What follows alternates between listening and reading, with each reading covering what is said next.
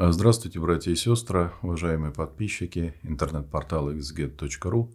Мы с вами продолжаем цикл лекций, лекций «Новое религиозное движение», а, сектоведение. И сегодня мы с вами рассмотрим тему «Раскол, а, причины и последствия или истоки идеологии агрессии Запада».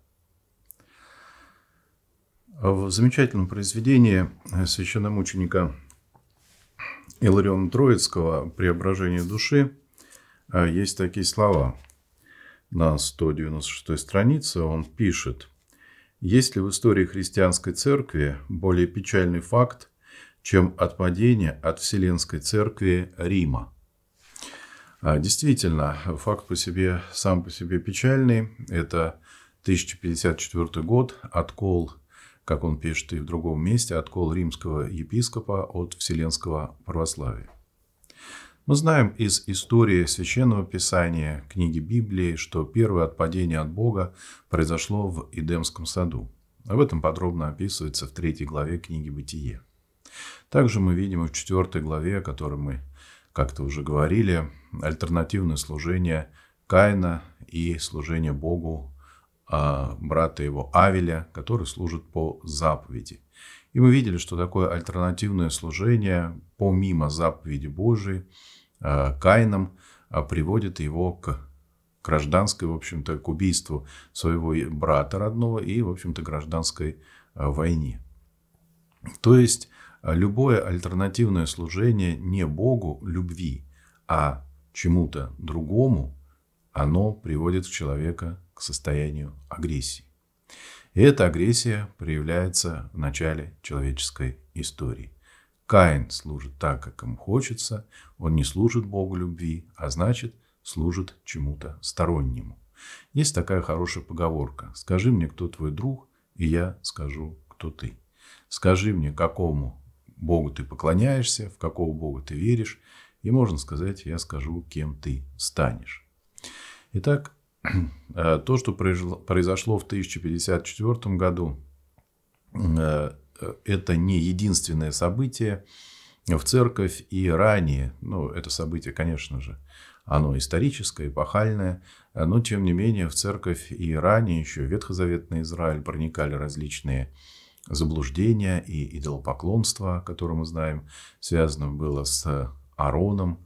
Э, когда Моисей ушел на гору Синай, то народ сказал, э, который был выведен Моисеем, пророком Божьим, из египетского плена, где этот Моисей, мы его не знаем, сделаем себе идола.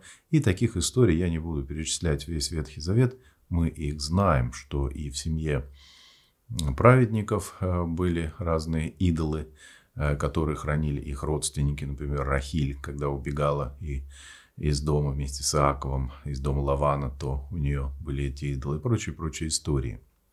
Всякое отклонение от служения Богу а, вызывало в той или иной мере э, агрессию и вызывало повреждение э, человека и формирование, э, как результат отражалось на формировании его личности и формировании народа, который впадал, формирование, в общем-то, культуры народа, который впадал в то или иное идолопоклонство. История новозаветной также в книге Откровения мы с вами, например, встречаем, а, где говорится о ереси Николаитов. Кто такие были Николаиты? Это был один такой диакон а, в церкви, тогда еще недалекой, в общем-то, от времен и апостолов. И, по сути, еще и апостолы были а, живы, э, некоторые из 70 апостолов. И э, Николай, Николай это был такой диакон, который заразился ересью манихейства, и он сказал, что все материальное – это плохо, то есть сама материя несет в себе грех, то есть человек, его тело, оно несет само по себе, по своей сущности, состояние греха. Э, это противоречит Священному Писанию, где сказано о том, что тела ваша суть храм Святого Духа, живущего в вас.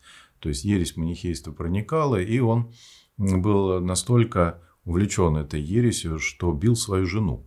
И однажды его вызвали на собор э, и по нравственному вопросу и поставили ему это и сказали, что это не подобает делать человеку, тем более христианину, тем более обреченному в священный сан. Но он настолько был утвержден в своем заблуждении, что восстал и против собора, и сказал, вот эта жена, ее тело ничего не значит, вы возьмите ее и делайте с ней что хотите.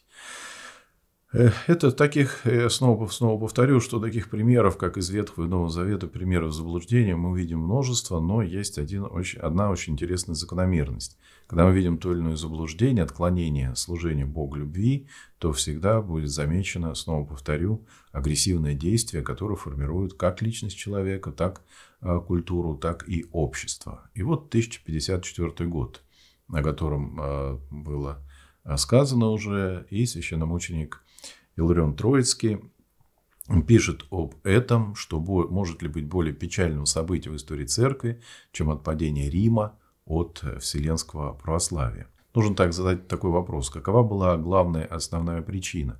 А причина состояла в том, что папа сказал, что он, в общем-то, а, глава церкви, как мы знаем впоследствии. И первое еретическое заблуждение было филиоквы, что Дух Святой исходит от Отца и Сына.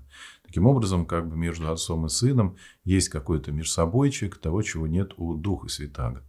И Дух Святой как личность, он раздваивается в этом учении, и получается такая некая шизофрения в учении.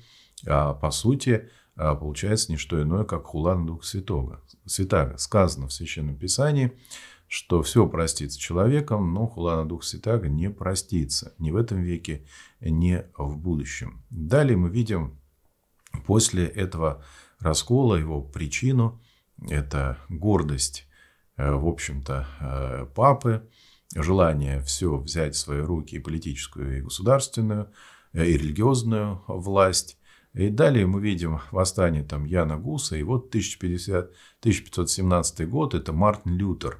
Кто такой был Мартин Лютер? Католический монах, который, э, видя то, что происходит э, внутри рим-католицизма, решил его подправить. А что же там происходило?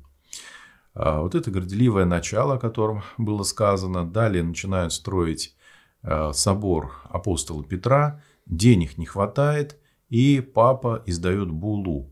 Он говорит о том, что а, причина в том, что Бог не дает построить этот великий собор а, апостола Петра, в том, что люди плохо каются.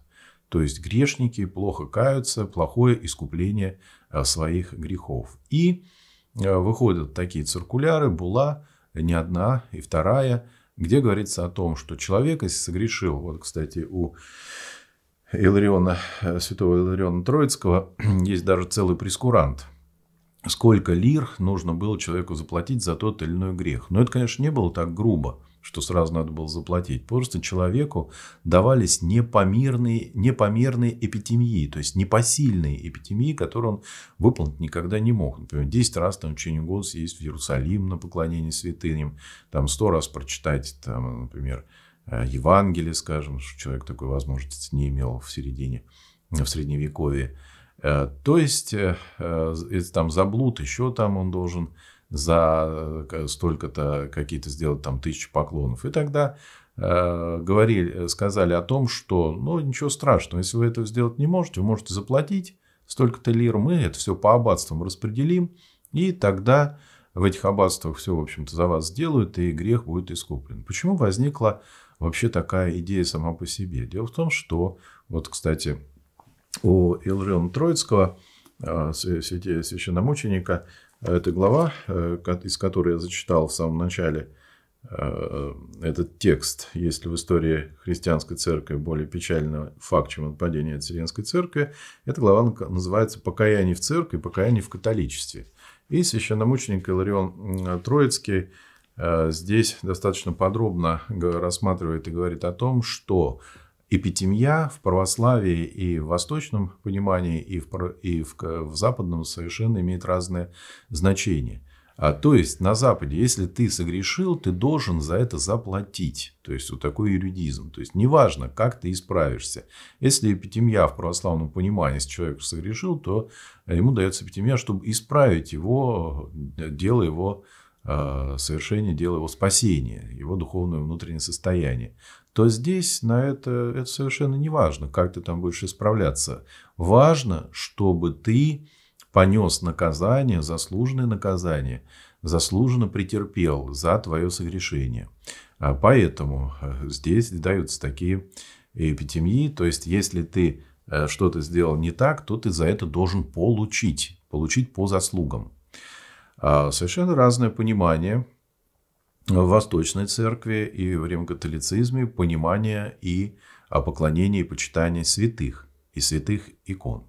Если, например, православный человек будет молиться святителю Николая, там, или Пресвятая Богородица, помогай нам. Ну, а Богородица – это вообще отдельная тема. Э, или преподобные там, Иосиф Волжский, моли Бога о нас. А, то совсем э, другое будет обращение католика э, к святым. Будет такое, что дай взаймы, там Игнатий Лайол, например, или Тереза Авильская, дай мне взаймы сверх заслуг, которыми я бы мог покрыть свои прегрешения. То есть, есть учение о сверхзаслугах, о том, что человек в своей жизни может своими делами сделать намного больше, нежели ему нужно для спасения. Отсюда возникает э, так называемое заблуждение, еретическое заблуждение о сверхзаслугах. И отсюда возникает вот это вот понимание о том, что человек может своими делами Э, заслужить спасение. То, что называется и было осуждено церковью пелагианской ересью. Действительно, был спор да, между Пелагием и Блаженным Августином в своих сочинениях. А, было такое противостояние. Кто-то ссылался на Пелагия, кто-то на Блаженного Августина. Блаженный Августин учил, что человек оправдывается только верой. А Пелагий учил, что человек может оправдаться и заслужить спасение – своими делами. Примирил их преподобный Анкасиан, который первый э, сказал о том, и ему принадлежит это слово синергия, то есть соработничество Бога и человека. Но это все впоследствии, а сейчас, сейчас 1517 год. Мартин Лютер, католический монах, а в общем-то, видя э, все, что происходит внутри католицизма, он был профессор Винтембергского университета, где учились э, несколько сотен студентов, э, семинаристов. И видя это заблуждение, он воскликнул, что читая Священное Писание, святоотеческую литературу отцов церкви, никогда и нигде, пишет он, не видел я, чтобы можно было спасение приобрести за деньги. И тогда он решает подправить римкатолицизм и э, составляет 95 тезисов, которые называются «Оправдание по вере».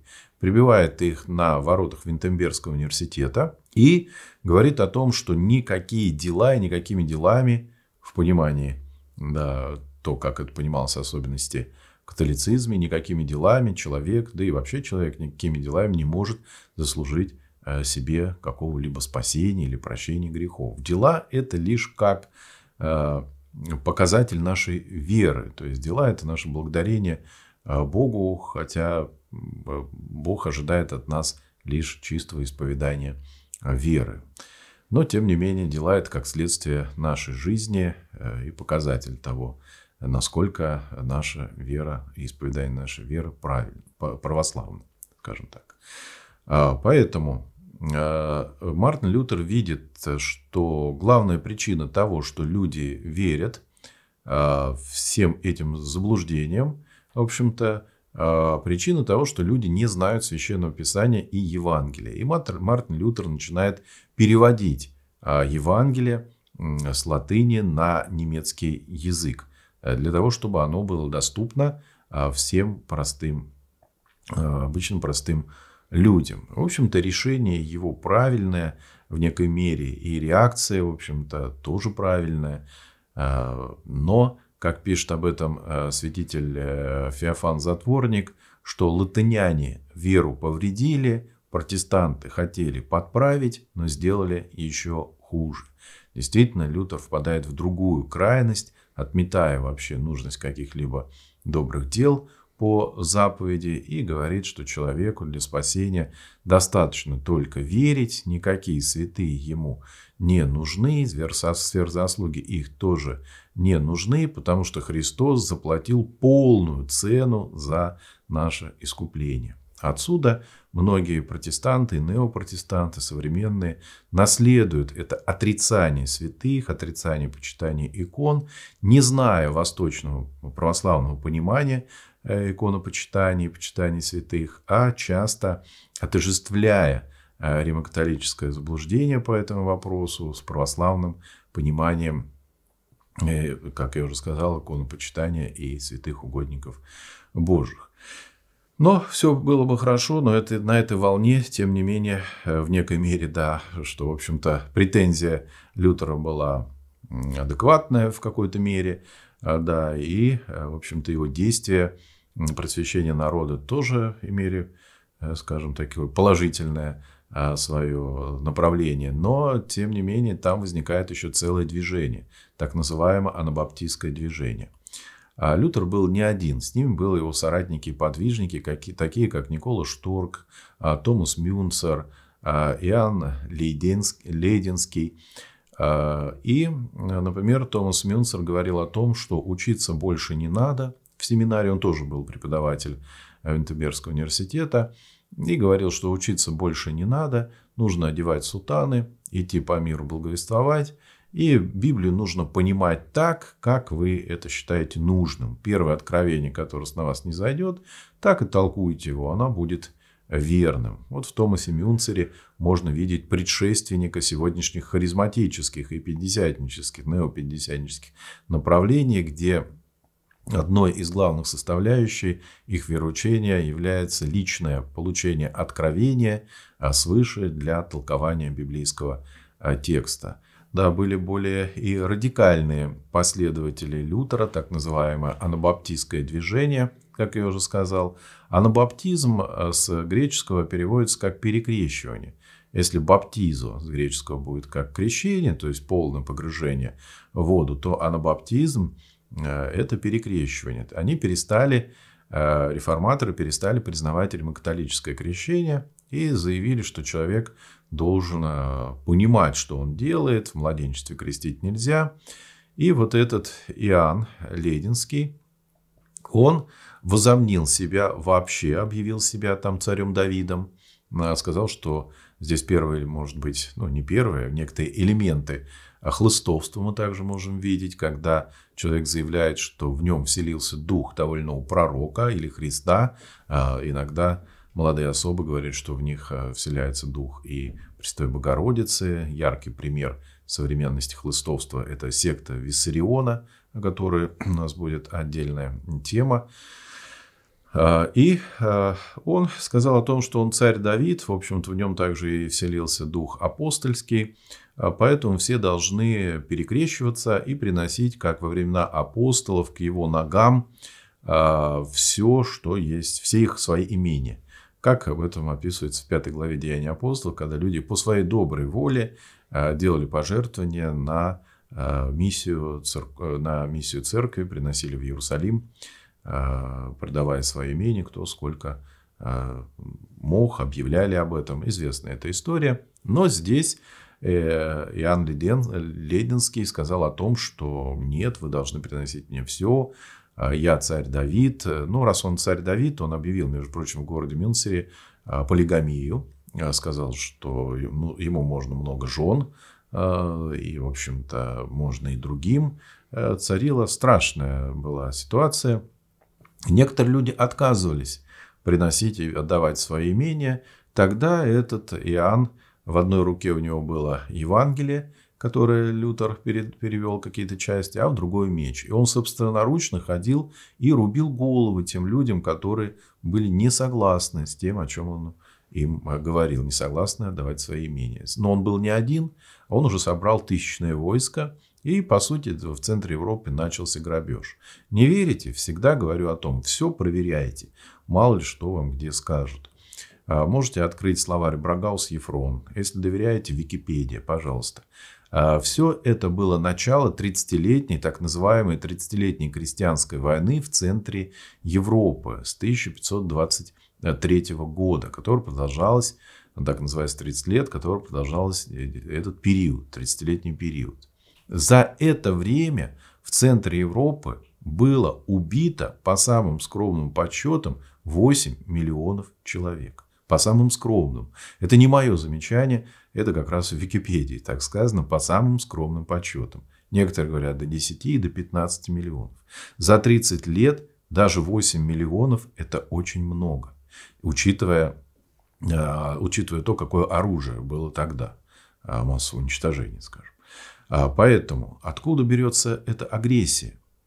Все, э, как при, следствие этого агрессии, этой агрессии, это откол. Сначала откол римского епископа, потом искажение основ понимания библейского текста. Теперь мы уже видим что один из этих реформаторов возомнил себя вообще э, царем Давидом.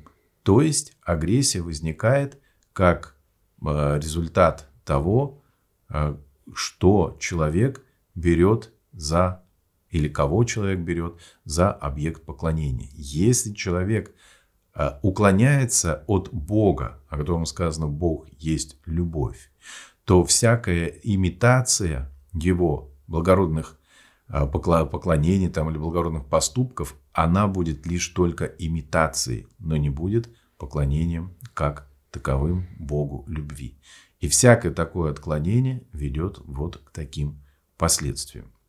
Что же дальше произошло с этим анабаптистским э, движением? На это все очень долго смотрели там внутри, на эту войну, там те же и католики, и другие окружающие, там и король шведский. Да, здесь возникает три основных движения. Э, э, кальвинизм, последователи Кальвина. Между прочим, Кальвина звали Женевский папа. А, почему? А, потому что, в общем-то, протестанты нового ничего не придумали. Если там был папа римский главный, то здесь теперь стал главным лидер э, того или иного движения, и его слово было, его слово, то, что он как определял вероучение того или иного направления, оно было как последней инстанцией истины. Итак, возникает лютеранство, кальвинизм и англиканство. Вот эти вот три направления в полном смысле это слово можно назвать протестантскими, потому что они хронологически имеют отношение именно к периоду реформации.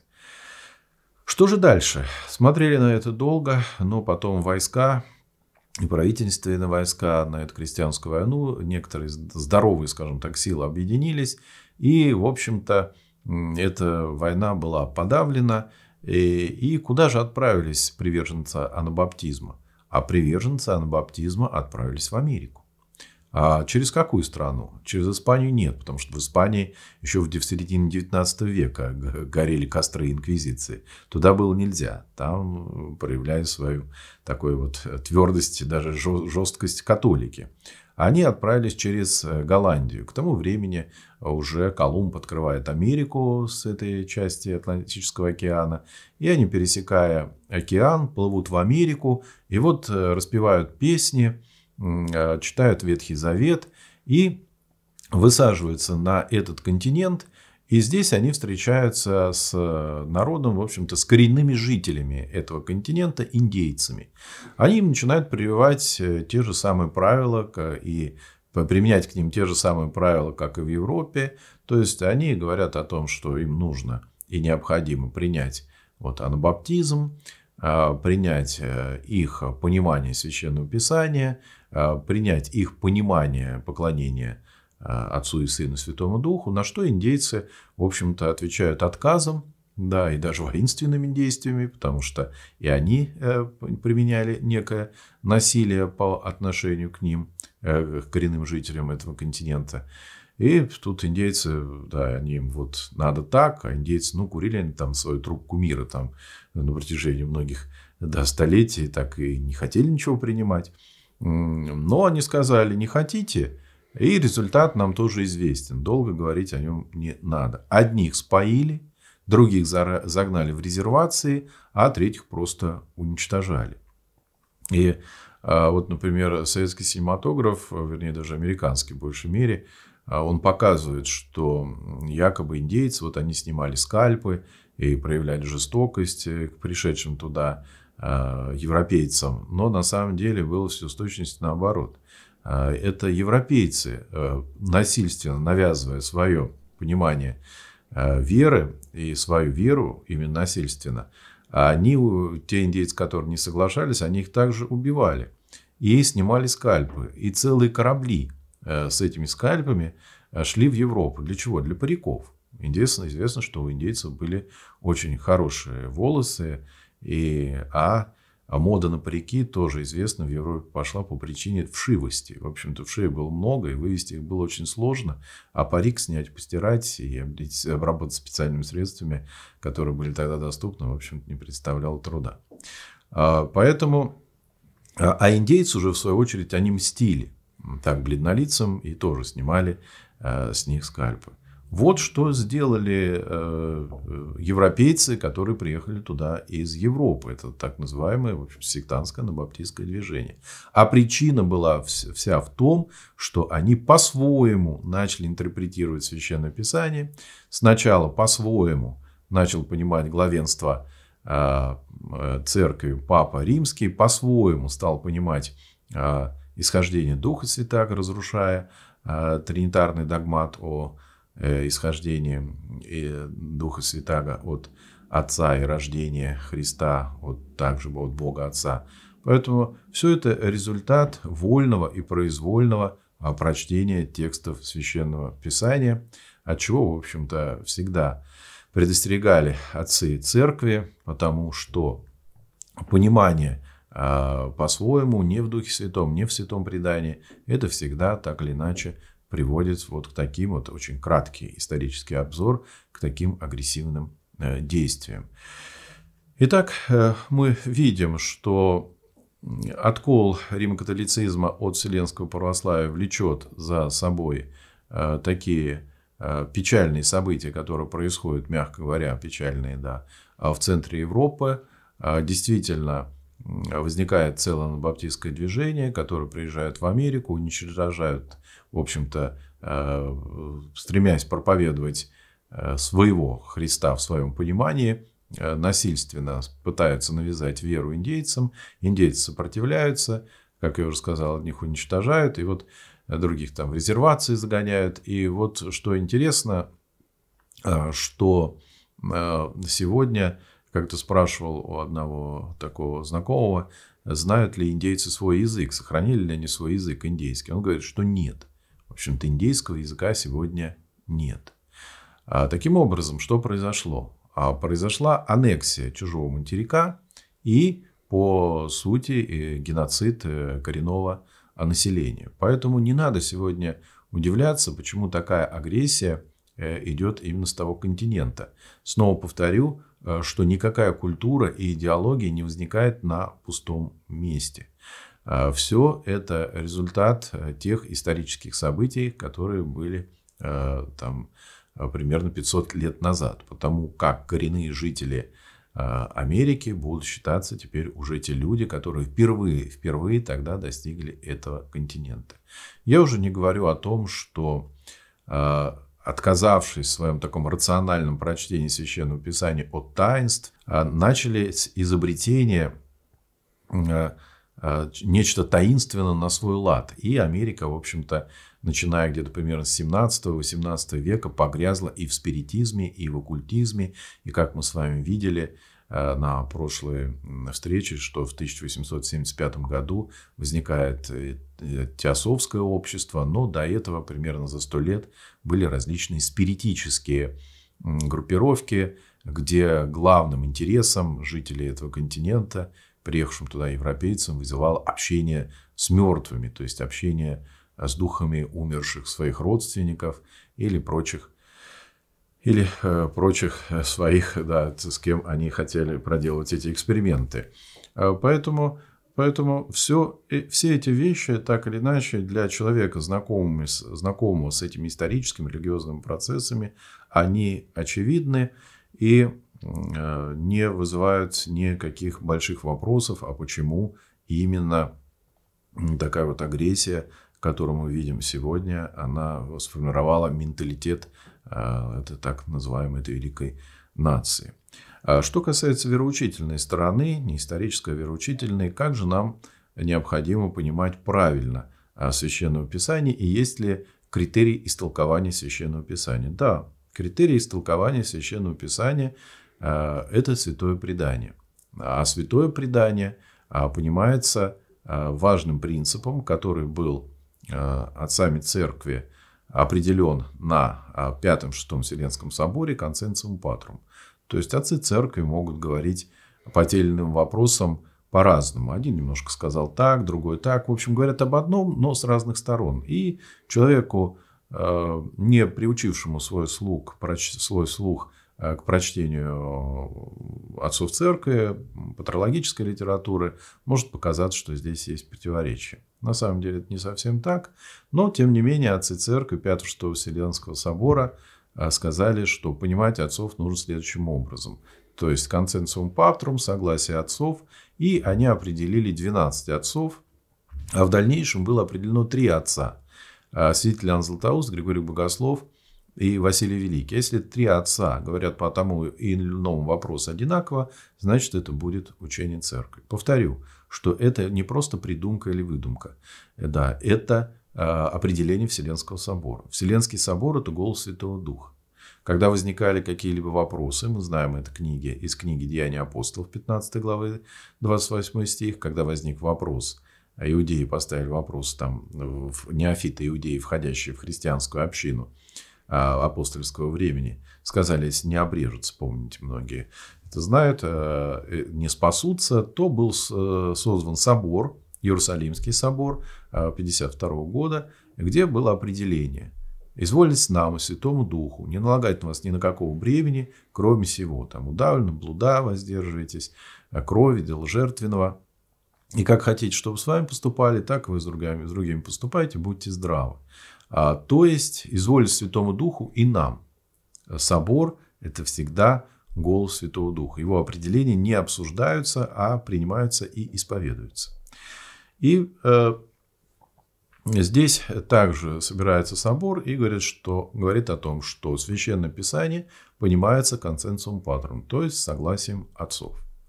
А об этом э, обещал и также наш Спаситель, когда перед своим вознесением он сказал, что пошлю вам Духа Святаго, который вам наставит, вас наставит на всякую истину и напомнит все, что я говорил вам. То есть определение собора – это наставление Святым Духом в понимании текста Священного Писания. Само Священное Писание говорит о необходимости святого предания. А какая ошибка здесь у многих протестантов и сегодняшних их последователей, неопротестантов а, в истолковании текста, например, там, адвентистов, баптистов, разных харизматических движений. Все они отвергают святое предание на основании текстов, которые записаны в Евангелии от Марка – 7 а, глава 8 стих и Евангелие от Матфея 15 глава 3 стих. Там сказано, Спаситель осуждает иудеев за то, что они держатся предания старцев. Он так и пишет, как вы, отвергая заповедь Божию, держитесь предания старцев, омовение кружек, ложек и э, прочей утвари, но при этом отвергаете заповедь Божию. Спаситель здесь говорит о предании человеческом. Можно, всегда говорю, нужно открыть и проверить. Ибо вы, пишет 7.8 Евангелие от Марка, оставив заповедь Божию, держитесь предания человеческого. Какое предание? А Евангелие от Матфея это будет параллельное место. 15.3. Какое предание, какое предание отвергает Спаситель? Человеческое. Но об апостольском предании – пишет апостол Павел в первом послании к Коринфянам, 11 глава, 2 стих. Он пишет так. «Хвалю вас, братья, что вы держитесь предания так, как я передал вам». Далее. Некоторые говорят, что предание – это как раз, э, ну, протестанты могут сказать, что предание – это как раз вот 27 э, книг Нового Завета и 39 Ветхого. Не совсем так. Апостол Павел в послании Фессалоникийской церкви, во втором послании, 2 глава, 15 стих пишет. «Стойте, братья, держитесь предания, которым вы научены, или словом, или посланием нашим». Заметьте, предание, слово и послание. Держитесь предания, которым вы научены раз, пос, э, слово, Библия, Священное Писание и послание, которое мы с вами читаем. То есть есть три составляющих. Предание, слово, Библия и послание. Поэтому я спрашиваю всегда у неопротестантов, как вы соблюдаете то, предание, о котором сказано в Библии, в апостольских посланиях, что их необходимо держаться. и они, э, которыми человек научается. Здесь же во втором Фессалоникийцам 3.6 есть такие слова. «А, «Отвращайтесь от всякого брата, поступающего бесчинно, бесчинно, а не по преданию, как мы передали вам». То есть предание – это не то, что мы придумали, а то, что приняли и сохранили. Вся полнота догматического богословия церкви была дана в день Пятидесятницы. На церковных соборах лишь церковь, на, на церковных соборах лишь церковь отметала те заблуждения, которые делали попытку проникнуть э, в церковь Божию. Всякое заблуждение вводит человека от пути спасения. Поэтому и соборы делали эти определения и говорили, как Церковь Божия верит и исповедует Христа, и как она не верит в Христа. Вот эти вот э, важно это понимать, что предание это а, не то, что мы придумали, а то, что приняли и сохранили. А, поэтому мы видим с вами и из истории, которую я так кратко постарался рассказать, о истории первого откола а, Рима от вселенского православия, к чему приводит вольная интерпретация понимания Священного Писания.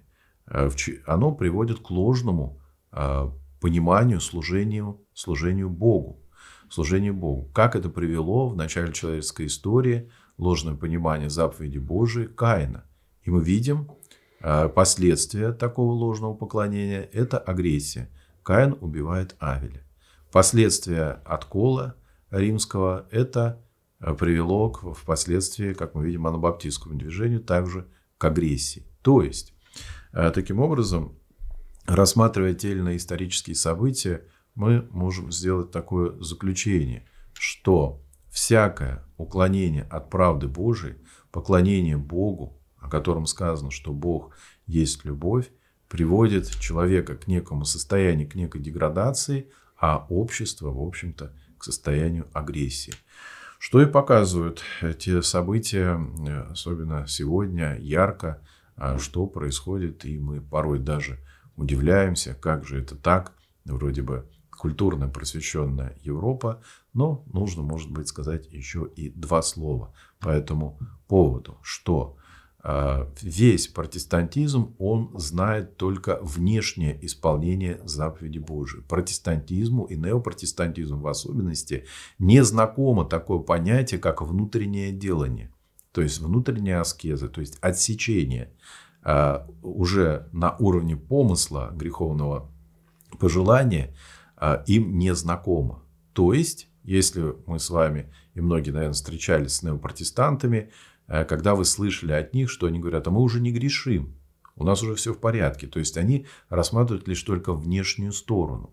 Но внешний человек может казаться приятным до поры до времени, если внутри его разгорается пожар страстей, с этими страстями у него нет никакой методики борьбы. Это рано или поздно прорвет. И вот можно сегодня сказать, оно и прорвало. То есть внешняя сторона, она лишь а, только является внешней. Поэтому человек, как сказано, разбей младенцы о камень. То есть, если человек пресекает, а это известно восточному христианству, пресекает эту агрессию уже внутри себя, то здесь а, нет этого состояния, которое, в общем можно назвать лицемерием. Внешне я хорош, а внутри меня Э, все вы, да, там, ты плох... все плохие, я хороший.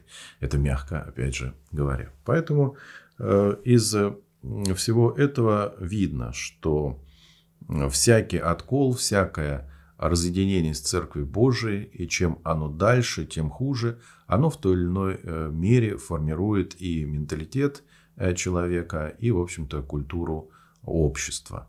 А, поэтому раскол, причина и следствие – Э, его мы сегодня увидели. И также увидели то, э, что я и старался подчеркнуть э, в сегодняшней встрече. Это религиозные истоки идеологии агрессии Запада. Да сохранит нас Господь от уклонения исповедания нашей веры. И можно только сказать в завершение, Русь святая, храни веру православную. Внеси свой вклад, оцени, подпишись и поделись этим видео.